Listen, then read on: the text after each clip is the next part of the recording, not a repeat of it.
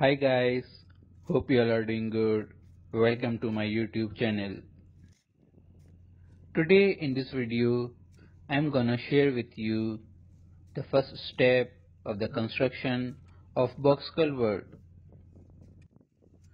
which is excavation and the concrete blinding.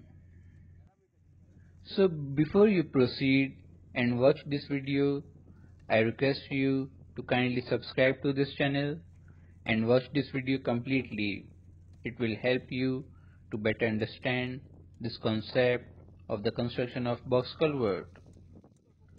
So as you can see that the excavation was done and the water was poured. Now we are using the flat roller.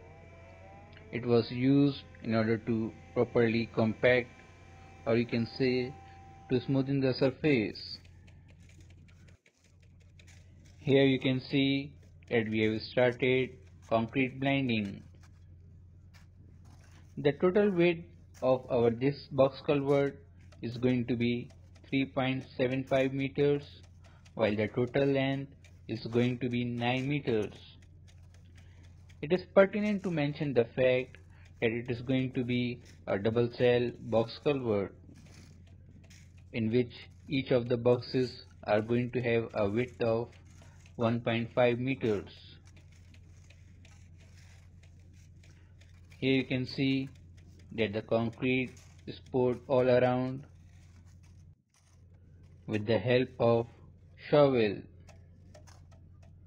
So here you can also see that the mason is using the range pole in order to compact the mixture of concrete.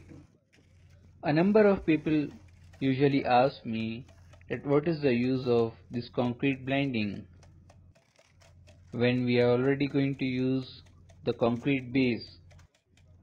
So guys, the main reason of doing this concrete blinding is to prevent the touching of unsuitable material from our structure.